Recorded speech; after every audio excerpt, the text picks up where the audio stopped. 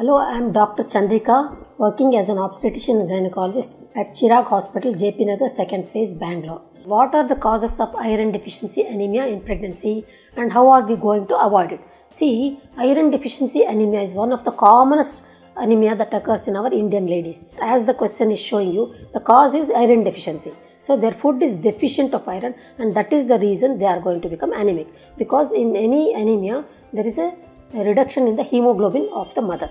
So hemoglobin contains heme and iron. So that is it contains protein as well as iron. So if the mother is deficient of iron, then that protection of hemoglobin does not happen and that is how she becomes anemic. So here when there is anemia in a pregnancy, there are two people suffering. One is the mother herself and second thing is the fetus in her womb. So when the pregnant lady suffers this anemia, what is the thing that happens? See, when her anemia happens, it means that her hemoglobin level is very low. That is the reason she is anemic. So when hemoglobin is very low, her blood's capacity to carry oxygen reduces drastically. See, that is the reason these patients are not able to tolerate routine physical activity also. So they may not be able to walk normally as normal people also. They cannot be able to climb the stairs. They cannot be able to do routine works and all this because their iron level is low and there is anemia and there is reduced capacity of the blood to transport oxygen and oxygen is the nutrition that is very much needed by the mother as well as the fetus for all their activities. That is a problem that happens in anemia. So how can we avoid it?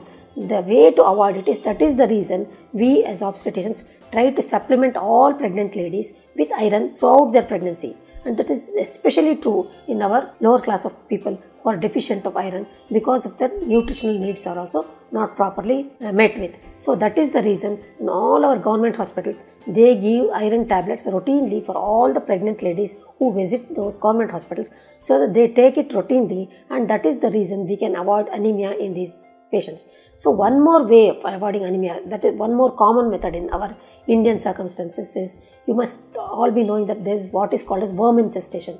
And worm infestation is also quite common in our Indian population. That is because of the unhygienic way of living. So most of the patients, they, they'll be always harboring some worms in their intestines and these worms will be sucking their blood and that is also one common reason for anemia. So, after you complete that uh, formative part of the pregnancy, that is the first trimester, that is the formative parts of the fetus, that is after that period, if the patient is anemic, we have to give them iron supplementation as well as we have to deworm them so that if there is any worms, we have to kill those worms and we have to prevent anemia that way also. This is the way we have to prevent anemia and this is the way we have to handle anemia in pregnant ladies. See, if you don't handle this anemia in pregnant ladies, the physical suffering of the mother increases and what studies have shown nowadays is that in the baby also from the womb if they are deficient of iron and if they are anemic then it will have effect on the brain of the babies. Means there is effect on the learning capability of these infants. And there is so many neurohormones and all produced in the brain.